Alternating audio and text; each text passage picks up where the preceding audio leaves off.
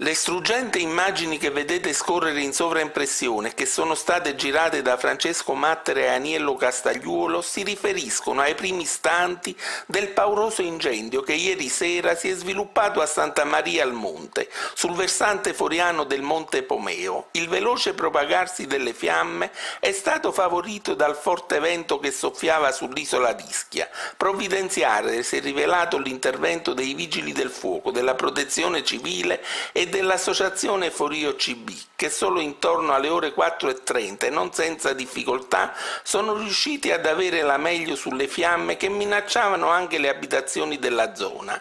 Visto l'ora tarda è molto probabile che l'incendio sia stato di origine dolosa e questo accresce ancora di più la rabbia di chi ama il patrimonio arboreo dell'isola Verde.